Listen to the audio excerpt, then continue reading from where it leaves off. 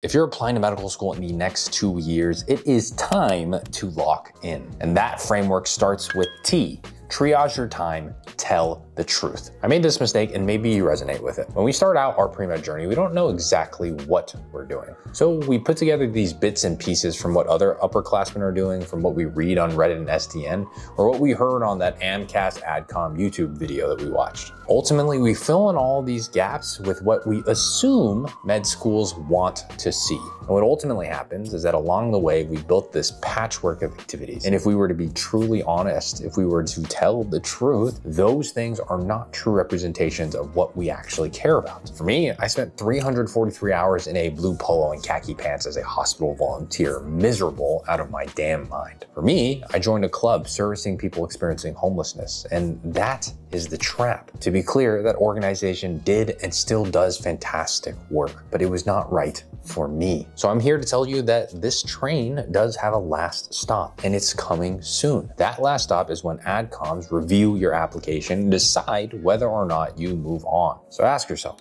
how much time are you spending on things you feel like you have to do? How much of your application is going to things that you'd be truly excited to talk about. And one more nuance, even if you truly like something, you still have to evaluate whether it belongs on your calendar now during this critical six month sprint of your pre-med journey. We had a student who loves being an EMT, truthfully, but also felt that it erased every single weekend because his shift was from Saturday 7 p.m. to Sunday 7 a.m. And so we had to make a tough decision. Over the next year, he might have had another 500 hours to his EMT experience, but going from 1500 to 2000 hours wouldn't have made a difference. But 500 hours to restudy for the MCAT or allocate to his other most meaningful extracurriculars where he could start a project or become and ascend to a new leadership position, that would have made him stand out more. So we had to make that difficult change. Don't ignore this step. It is first for a reason. Because if you continue to invest in things that aren't serving your application, you're only lowering your your chances. Even the fastest bullet train in Tokyo won't take you where you need to go if it's pointed in the wrong direction. So T, triage your time tell the truth, and quit things. Reset if you need to. Now, if you're applying in the coming years, you're going to want to make sure that your application is equally as competitive as real applications that got in years before. We have eight full AMCAS applications that earned acceptances to the best medical schools in the country. Over 20,200 pre-meds are part of our community. To join, click our link in our description box below. Now, I, identity, what will you be known for? We've worked hard to cut the fluff. On the other end, we want to highlight the gold. I knew that when I applied, if I were to get into medical school, it would 100% because of one of three things. Vietnamese community health, my life, a clinical experience where I help patients lose weight, or my years of teaching and mentorship experience with the UCLA Academic Advancement Program, where I service the underrepresented, underserved UCLA students. And I knew that even though I spent three years in a basic science lab, that wasn't gonna make me stand out. I wasn't the best researcher, I didn't publish anything, and there were tens of thousands of pre-meds with equal, if not better, research careers. Those three things, VCH, my life, and the AAP, those things made me special. Now, it's already impressive to know where you're strongest. It's another to double, triple down on what makes you special. One of our students, Erica, her entire application is centered on providing care for underserved communities. In fact, she knew that one activity made her special, her work as a health advocate for a safety net hospital. So to triple down on that, she founded an organization that supported local NGOs in building workshops, building programs to help community members access social services like Medi-Cal, housing credits, and food stamps. She knew that made her special and built on top of that impact. And that's why she already has eight interviews and three acceptances halfway through the cycle. Everyone talks about submitting early because of rolling admissions, and don't forget to send in your transcripts because when you get them, yada, yada, yada. But everyone ignores the key months and year that lead up to applying. The cutting of the fat in T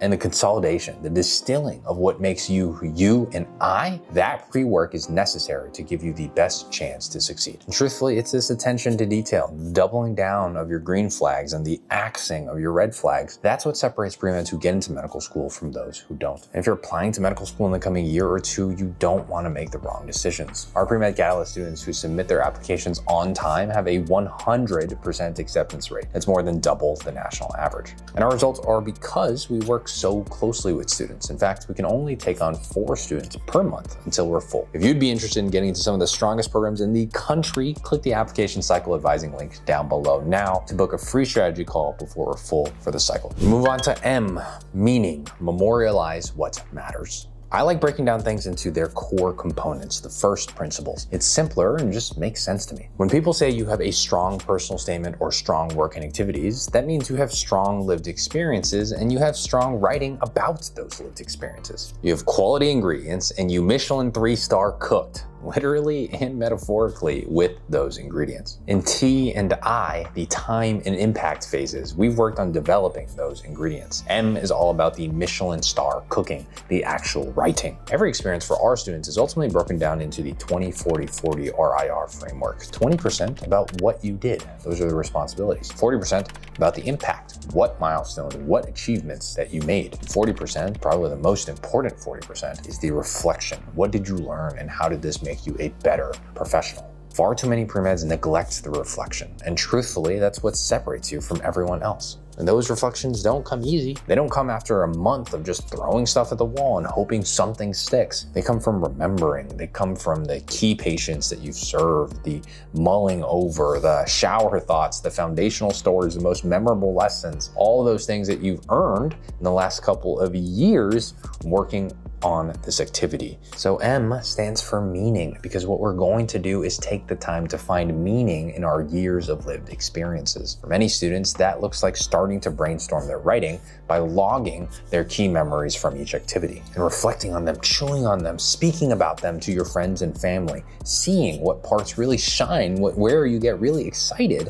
when you talk about something. That's how I wrote this most meaningful section about Ben, my first patient who weighed 244 pounds and lost 16 pounds over 16 weeks. I'll let you read on your own time, but pay attention to the specific details. He didn't walk in the sun, for example, with a white shirt because one time, he sweat through his white shirt and two young women across the street pointed and laughed at him. Or that every night he watched Modern Family and that was our opportunity to have him climb onto his home climbing machine. This is the most common phase that pre-meds skip, and it's painfully obvious when you read their applications. You've done the hard work for years to build the right ingredients, and when we start transitioning to working on the actual applications, most pre-meds lose motivation. The best way to continue forward, to sustain our progress, is to make this fun somehow, to reminisce and journal, maybe throw on your favorite movie soundtrack in the background, maybe walk with your best friend and celebrate some of the really cool things that you've experienced over the years. A well-developed application doesn't happen solely on the computer. It happens outside of Microsoft Word, outside of Google Docs. The times where you're processing and extracting the most important parts of your most meaningful experiences. That brings us to section four, E,